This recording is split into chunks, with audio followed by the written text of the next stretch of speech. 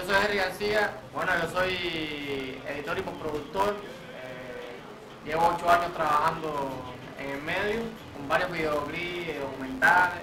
Ahora aquí estoy trabajando en un concierto especial que dio Cubanos en la Red. Un proyecto que bueno, que empezó después de hace seis meses que nos conocimos haciendo un documental a los carnavales de, de Santiago. Y ahora estamos envueltos en este proyecto muy interesante, ¿no? Eh, poco el resumen de, de la carrera de Osmel y Cubanos en la Red. Este concierto que ven, que verán, eh, Osmel lo editó junto conmigo, así que espero que lo disfruten.